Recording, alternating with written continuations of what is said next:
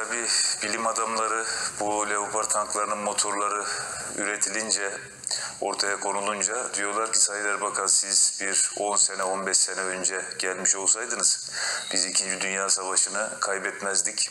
Çünkü 2. Dünya Savaşı'nı Sovyetlere karşı mağlup olunca kaybettik. Ondan sonra geri çekilme başladı, gerileme başladı.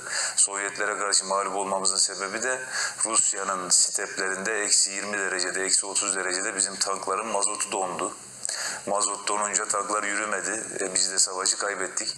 Halbuki sizin bu Leopard tankları hem mazotla hem benzinle çalışan bir motor. Dolayısıyla mazotun donacağı şartlarda benzinle yoluna devam edebiliyor. Eğer siz gelmiş olsaydınız 20 sene önce biz bu tankları yapsaydık o zaman Rusya'ya yenilmezdik ve 2. Dünya Savaşı'nı kaybetmezdik. Gerçi tabii her şeyde bir hayır var. Almanya'nın ilerleyişinin durması, işgallerinin durması da belki daha hayırlı oldu diyebiliriz.